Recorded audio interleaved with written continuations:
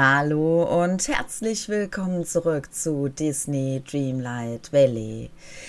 Ja, wir haben aktuell nur noch eine Aufgabe übrig, außerhalb vom Event versteht sich. Und zwar ist das eine Aufgabe von Mike, der sich gerade mal wieder versteckt. Ah, der ist bei Dagobert, so wie es aussieht. Dann gehen wir doch mal da rein und schauen mal nach. Hey, Da hast du eine Minute? Mike. Hey, du! Gameplayerin, Oh, da ja. bist du ja. Ich hatte gerade die beste Idee aller Zeiten. Hast du Zeit, über eine Möglichkeit zu reden, das Tal zu reformieren? Klar. Wenn ich nicht reden muss, ist alles gut, weil meine Stimme ist immer noch ein bisschen im Eimer. Was ist deine Idee? Comedy! Ich mag Comedy. Soll es ein Scherz sein? Der war gut. Natürlich tust du das. Jeder liebt es zu lachen. Wirklich? Nichts gegen die anderen hier, aber einige von ihnen sind nicht so lustig. Oh, Klar, sie sind edel, mitfühlend, mutig, bla bla bla bla. ja. Aber lustig? Nein. Keine Sorge, das kann ich Oh, ändern. Ich höre zu. Okay, wow. Ich habe das Gefühl, dass ich mich mein ganzes Leben lang auf diesen Moment vorbereitet habe. Oh. Wie du weißt, habe ich neue Scherzer in der Monster AG unterrichtet. Oh. Aber jetzt bringe ich die Lacher hierher und zeige den Dorfbewohnern, wie man Experte in Sachen Comedy wird. Au. Dreamlight Valleys allererster Comedy Club. Los geht's. Toll, wo fangen wir an? Oh. Nun, wenn ich die Hauptrolle spiele, und ich werde definitiv die Hauptrolle Oh, ja, spielen, ja, ja, ja, ja. dann brauche ich noch ein paar andere, die ja. für mich die Show eröffnen. Klar, irgendwelche Ideen? Oh. Ich habe drei Kandidaten im? Kopf. Die gute Fee, Wally und Vanellope. Oha, wie soll Wally denn... Naja, ich bin mal gespannt. Kann ich mehr Informationen bekommen? Was findest du so lustig an der guten Oh. Fee? Ich weiß nicht, sie hat einfach dieses Funkeln in den Augen, das einen denken lässt, dass sie etwas Hysterisches zu sagen hat, aber zu höflich dafür ist. Ich möchte ihr beibringen, das Schmunzeln nicht länger zu unterdrücken und es rauszulassen. Äh, ja, weißt du was, du hast recht. Was findest du so lustig an Wally? Das interessiert mich jetzt am meisten. Oh. Oh, er ist definitiv ein Naturtalent. Oh, ja, Man ja, merkt ja, ihm seine. Fähigkeiten als Komiker an. Was findest du so lustig an Vanellope? Ah. Die Kleine liebt den Lifestyle der heutigen Jugend. Und ein bisschen. Und ein bisschen Spruch hat sie auch schon drauf. Cool. Ich werde mit ihnen reden und sehen, ob sie mitmachen wollen. Wir sind ein tolles Team. Habe ich recht? Ja, natürlich. Ich mache wie immer die ganze Arbeit und du sagst mir, was ich zu tun habe. das nennt man tolles Team. Ähm. Ach so, das ist Wally. Ich wollte gerade sagen, hat Eve jetzt hier eine neue Quest für mich? Ach so, wo laufe ich denn eigentlich hin? Ach so, Wally. Ach ja, halt. er stand ja schon hier. Oh, danke schön, Wally. Aber darum geht's gerade nicht. Hey, Wally, wie geht's? Ah. Hui. Äh. Ich freue mich für dich. Wolli, hast du jemals daran gedacht, eine Karriere als Komiker zu starten? Hä? Mike versucht, die nächste Generation von Komikern auszubilden. Willst du dabei sein? Hm. Warum erzählst du nicht mal einen Witz? Hm. Tada! Wolli, du bist bezaubernd. Wolli! Ich schätze, es ist ein bisschen schwierig, einen Witz zu erzählen, wenn die Leute dich nicht genau verstehen können. Keine Sorge, du bist immer noch mein Lieblingsmüllpressenroboter. Yippie! Ja, das war halt auch mein Bedenken, ne? Dann haben wir noch die gute Fee und Vanellope. Die gute Fee kommt auch gerade. Ich glaube, die will zu mir. Gute Fee. Ja, da bin ich. Ne? Hallo, Liebes. Gameplayerin, wie geht es dir, meine Liebe? Sehr gut, danke. Ich versuche Mike bei etwas zu helfen. Das ist sehr nett von dir. Was braucht Michael? er sucht nach Leuten, die daran interessiert sind, Komiker zu werden. Was hältst du davon? Ich musste übrigens jetzt deswegen so lachen, weil Michael ja einer der Erzengel ist. Und er natürlich Mike heißt. Oh je, Witze lernen? Ich bin mir nicht sicher, ob ich wirklich eine Komikerin bin. Man weiß ja nie. Manchmal wird man von einem verborgenen Talent überrascht. Ich weiß nicht. Was ist, wenn ich dir einen Witz erzähle und du dann versuchst, dir vorzustellen, du wärst an meiner Stelle? Äh, Na gut. Okay, ich erzähle dir einen das Huhn, das die über Straße überquert Witz. Also Klopf, Klopfwitze sind meistens langweilig. Wortwitz könnte was werden. Ich, ich, ich sag mal das Huhn, das interessiert mich gerade. Ein Huhn, das die Straße überquert. Wenn es eine vielbefahrene Straße ist, könnte das gefährlich sein. Nun, es ist eine Straße im übertragenen Sinne. Darf ich im Witz sein, um dem Huhn sicher hinüber zu helfen?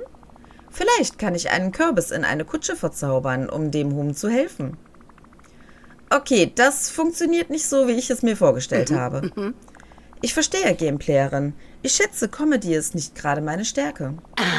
Wobei das ja jetzt auch nicht schlecht war. Ich meine, das hatte auch ein bisschen was von Comedy, was er jetzt gerade gemacht hat. Bei meiner Magie geht es mehr darum, Menschen zu helfen, ihre Träume zu verwirklichen, als sie zum Lachen zu bringen. Das ist wirklich süß. Dann mache ich mich wieder an die Arbeit und überlasse es dir, den Leuten bei ihren Hoffnungen und Träumen zu helfen. Tüdelitü. So, also ihr seht schon, hier diese, diese rosanen Quests, die es hier gibt, das sind die Event-Quests, ne? Das sind leider keine neuen Quests, das kann ich euch auch nochmal zeigen. Wir haben leider nur die beiden. Wenn das zu Ende ist, dann werde ich noch einmal Mike leveln können. Und ja, Eve ist leider seit mehr als zwei Monaten Danke mittlerweile verbuggt und es wird nichts getan. Was ist los, Gameplayerin? Vanellope, hast du jemals daran gedacht, eine Komikerin zu werden?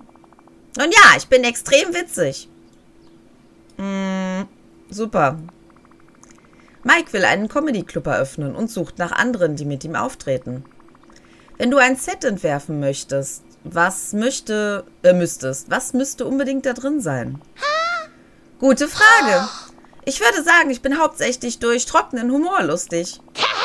Ich sehe und höre Dinge, die auf den ersten Blick vielleicht nicht lustig sind, aber dann erkenne ich sie und BUM, Comedy. Gute Antwort. Ich werde es an Mike weitergeben. Wenn meine Stimme denn so lange noch aushält. Also es tut mir wirklich leid, aber irgendwas hat mich so voll erwischt. Meine Stimme ist gerade nicht mehr wirklich schön.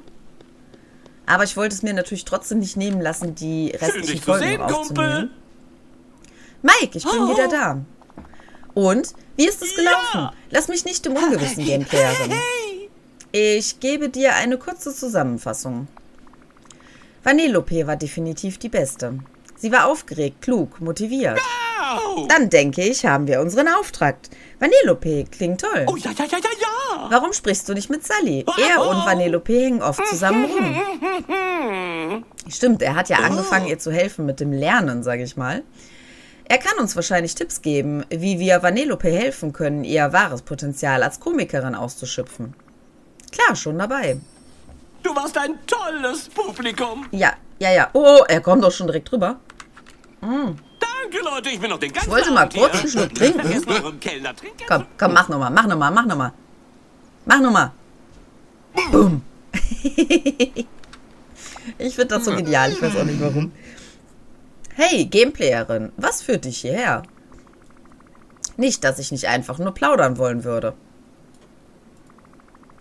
Aber ich bin wegen Vanellope hier. Oh, was hat sie jetzt getan? Sie ist in großen Schwierigkeiten. Nein, eigentlich ist das eine gute Sache. Na, das ist ja jetzt eine Überraschung. Vanellope ist ein super süßes Kind, aber sie hat definitiv eine Unruhestifterin in sich. Nun, das hängt irgendwie zusammen, denke ich.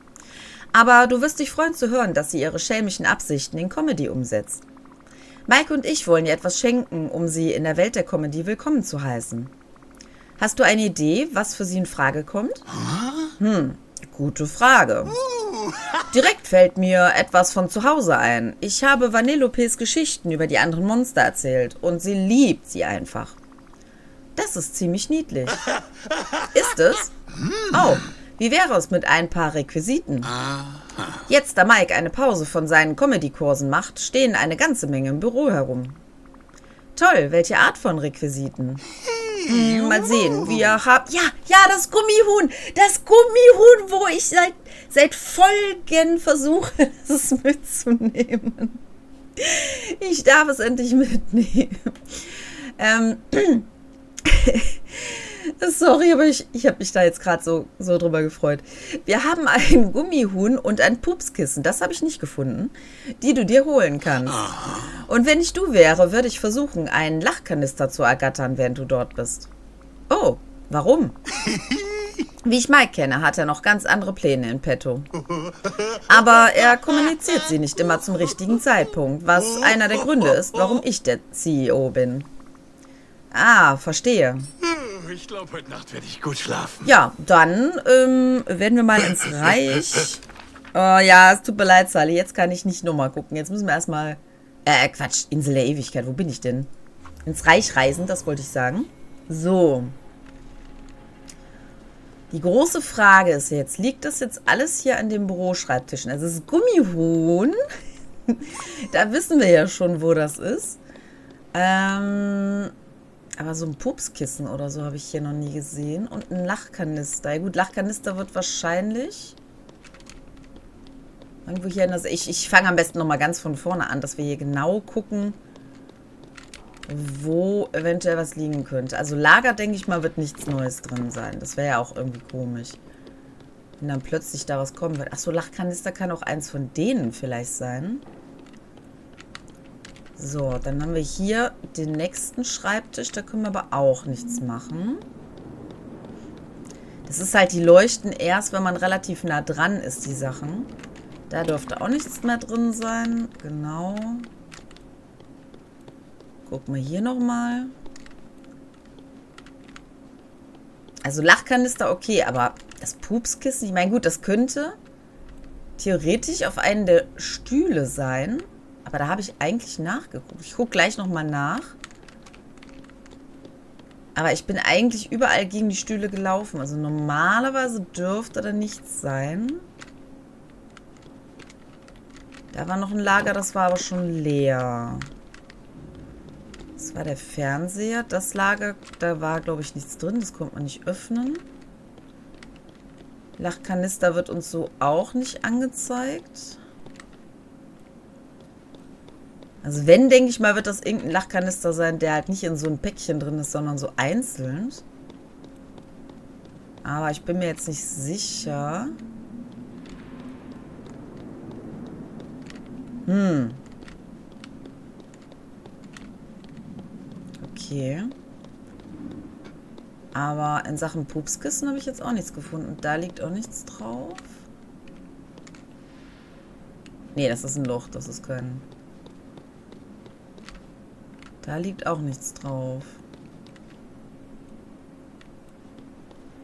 Ach so, könnte das eventuell sein, dass das im Reich von den Kindern ist?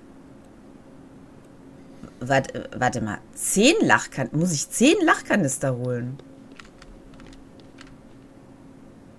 Weil das sind doch, ach, das sind jeweils zwölf. Jetzt muss ich hier nicht wirklich äh, zehn Lachkanister ähm, einzeln einsammeln oder was? Äh? Stand by be funny. Hm. Hier war ja nichts drin in dem Lager. Besser gesagt nicht mehr. Da können wir auch nicht mehr in eine neue Gegend rein. Ah, aber dafür haben wir das Pupskissen hier gefunden. Okay. Aus dem Reich der Monster. Zehn Lachkanister. Das ist jetzt ein Lager. Oh, okay. Da können wir auf jeden Fall Eis rausnehmen. Aber ich meine, das hatten wir vorher noch nicht. Also äh, das, das mit dem Eis. Oder das war, nachdem wir das aufgebrochen hatten. Da bin ich mir jetzt nicht sicher. Aber wieso kann man die Lachkanister hier nicht äh, auswählen? Das ist natürlich... Weil das sind doch... Ah. Ah. Ich wollte gerade sagen, das sind doch Lachkanister hier.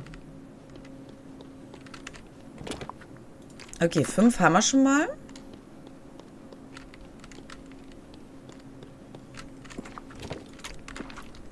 Sieben. Habe ich natürlich genau die Kanister untersucht, die es nicht gewesen sind. Okay, dann haben wir alle zehn. Perfekt. Ja, irgendwann finde ich die Sachen immer. Es dauert nur ein bisschen länger. äh, bring die Gegenstände zu Vanellope. Wieso? Ach so. Nee, aber wieso zu Vanellope?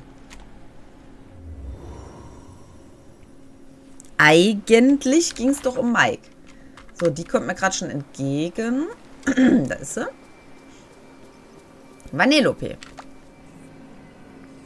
Achso, nur die zwei Sachen. Okay. Ja, das, das ist eher ihr Humor. Das stimmt schon. Sei gegrüßt, oh Freund. Hey! Was hast du mir da mitgebracht? Das sind ein paar Geschenke von Mike und mir. Geschenke, danke. Achso, stimmt. Ja, er hat ja gesagt, ja, ja, ja. Ich hatte jetzt gerade, äh, ich war jetzt gerade schon beim Auftritt irgendwie. Was soll ich zuerst ausprobieren? Das Gummihuhn. Ja, auf jeden Fall das Gummihuhn. Okay, los geht's. Ah, hilf mir.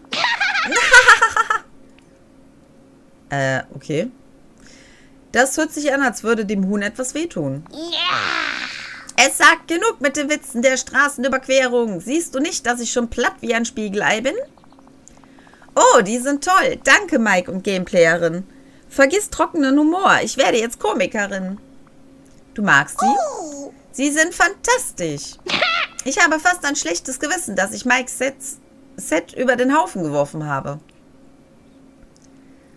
Ähm, gewagte Worte. Yeah. Dieses Pupskissen wird auf jeden Fall den Wind erzeugen, den ich brauche.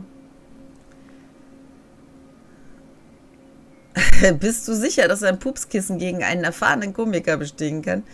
Äh, ja.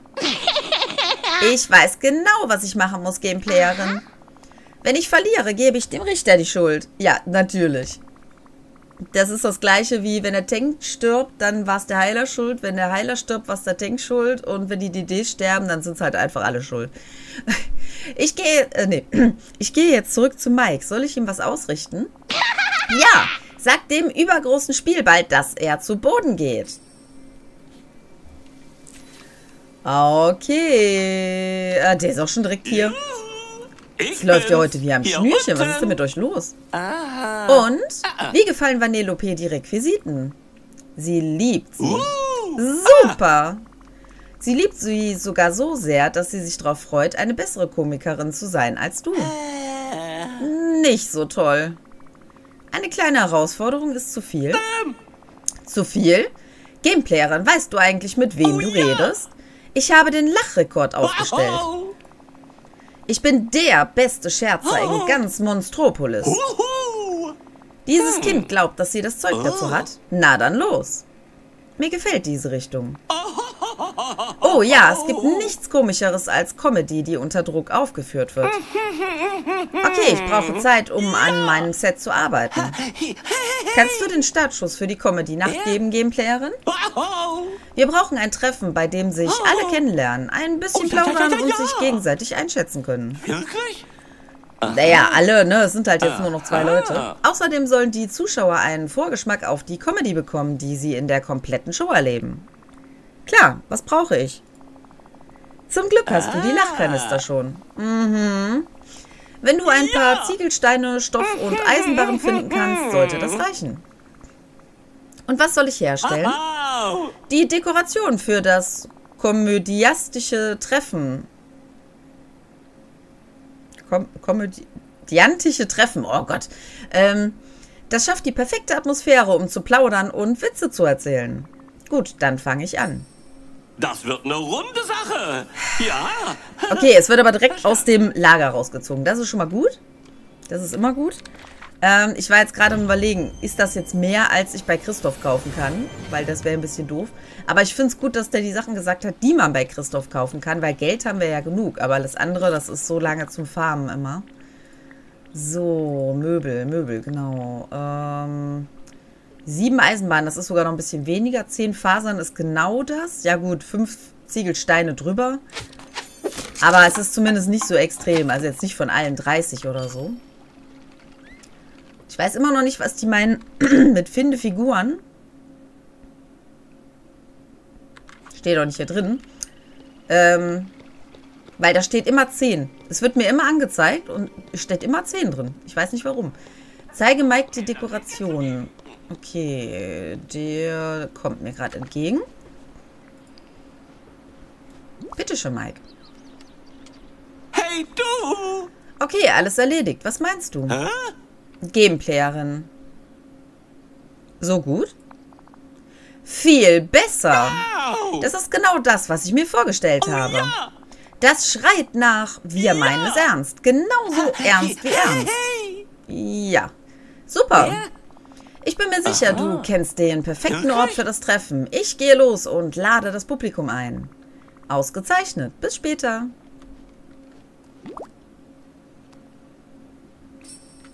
Du warst ein tolles Publikum. So, der perfekte Ort wäre eigentlich bei denen selber. Aber da hier jetzt schon dieses Arcade-Ding steht, müssen wir mal gucken. Wir könnten das natürlich theoretisch auch hier reinstellen. So als, als Comedy-Show, wenn man, wenn man hier... Ähm, was ist denn hier alles auf dem Weg? Leute, so geht das nicht hier. Ihr könnt doch nicht einfach meinen Weg beschmutzen und, und wegmachen und so. Das wird ja aber langsam schon ziemlich eng, muss ich sagen. Ich sollte das vielleicht auch mal ein bisschen zurückstellen hier. Ähm, Comedy-Show. Vielleicht auch hier. Weil hinten, wie gesagt, habe ich jetzt nicht so den Platz. Moment, das schauen wir doch mal eben nach. Dann würden wir das nämlich ein bisschen zur Seite machen, in der Hoffnung, dass das nicht so groß ist. Und natürlich ist es groß. Das war ja wieder klar. Dann müssen wir das erstmal ein bisschen wegmachen hier. So. Ja, können wir das jetzt auch noch mitnehmen. Was ist denn... Achso, ich wollte gerade sagen, was ist denn das für ein komisches grünes... Für ein komischer grüner Schleim hier. So, die stellen wir mal ein bisschen weiter weg. Das auch. Und dann haben wir hier ein bisschen Platz. Ich weiß nicht, ich denke nicht, dass das hier stehen bleibt, aber dann haben wir jetzt zumindest ein bisschen Platz. So. Und dann machen wir das Bild genau von der falschen Seite. Ihr wollt mich doch jetzt veräppeln. Und ich kann mich nicht drehen, ne? Ihr wollt mich doch echt veräppeln. Ja, ich muss, ich muss diesen blöden Schleier hier drin machen. Oh, hätte ich das gewusst, dass der sich genau daneben stellt und nicht, wie man eigentlich denken könnte, davor. Ja. Lassen wir es so. Sieht ein bisschen blöd aus, aber vielleicht können wir das noch ein bisschen so hinkriegen. Dann schneide ich das raus fürs Coverbild. Lacht die auch? Naja, gut, ich gucke zur Seite, während ich lache. Aber gut, weil es soll ja halt eine Comedy-Show sein, ne? Dann wäre es vielleicht ganz gut, wenn sie auch mal lacht. Und vergiss nicht, Lachen ist zehnmal stärker als Schreikraft. Siehst du? Schön, Genau das sehen, meine ich. Wow, was für ein Treffen. Hast du dich gut amüsiert? Das war ein Knaller. Die Feiertagspartys äh, der Monster AG stehen dem in nichts nach. Oh ja! Und es war schön, Vanellope zu sehen. Ich bin ein bisschen enttäuscht, dass sie sich für Humor mit Requisiten entschieden hat, aber wir alle fangen irgendwo an. Ich mag den Humor mit Requisiten. Vor allen Dingen am allergeilsten finde ich immer noch diesen einen Komiker, also diesen Bauchredner, ähm, Sascha Grammel heißt er, glaube ich. Entschuldigung, wenn ich den Namen jetzt nicht richtig ausgesprochen habe. Schreibt mir gerne in die Kommentare, ob, der, ob das sein Name war und ob ihr ihn kennt. Ich finde ihn einfach absolut genial. Wenn die Schildkröte kommt oder die anderen Tiere. Es ist meine absolute Lieblingskomödie. Nun, du bist nicht wirklich eine Komikerin, oder? Ich schätze nicht. Ich muss sie nur ein bisschen unter meine Fittiche nehmen und ihr Feinheiten der Comedy beibringen. Ja, ja, kann man jetzt auch nicht so sagen, weil sie ist ja so ein bisschen unter den Fittichen von Sully, ne? Ein Versuch ist es wert. Nun, es wird Zeit, weiter an meinem Set zu arbeiten. Oh ja, ja, ja, ja, ja. Die Dekoration für das komödiantische Treffen kannst du aber behalten. Vielleicht inspiriert sie dich an deiner eigenen Routine zu arbeiten. Wirklich? Danke, Mike. Darauf kannst du wetten. Wenn du mich jetzt im Dorf siehst, weißt du, dass ich hart an meinem Set arbeite. Wirklich? Auch wenn du angeln gehst oder einfach nur in die Ferne starrst? So ist das mit Komikern, Gameplayerinnen. Wenn es so aussieht, als würden wir faulenzen, sind wir tatsächlich am Arbeiten. Hm, Das ist so ähnlich wie mit Autoren, das stimmt allerdings. Wenn alles nach Plan läuft, werden die Leute hier so, so sehr lachen, dass sie tagelang gar nichts zustande bekommen. Naja, ob das jetzt so gut ist, ist allerdings die andere Sache. Aber gut, das ist dann halt so, wenn alles nach Plan läuft. Ja, im Moment hat er noch keine neue Quest für mich. Das heißt, ich muss ihm jetzt mal ganz schnell hinterherlaufen. Bleib hier, bleib hier, bleib hier. Mike, sonst finde ich dich gleich wieder nicht. Äh, lass uns abhängen. So, so. Ähm, deswegen werde ich mich jetzt mit Mike hinsetzen, beziehungsweise, ja, Simba, wir wissen, dass du ein König bist. deswegen werde ich mich mit Mike hinsetzen und, äh, beziehungsweise werde jetzt mit ihm rumlaufen und werde ihn noch mal ein bisschen leveln. Ich glaube, zwei Level braucht er noch, damit wir die allerletzte Quest wahrscheinlich dann erstmal machen können. Ich hoffe, dass es dann bald mehr Quests gibt. Ja, ich habe ja schon oft genug was dazu gesagt. Deswegen, wir sehen uns dann in der nächsten Folge mit Mike wieder. Bis zur nächsten Folge. Ciao. Vielen Dank für dein Like. Wenn du mehr davon sehen möchtest, darfst du mich natürlich auch gerne abonnieren.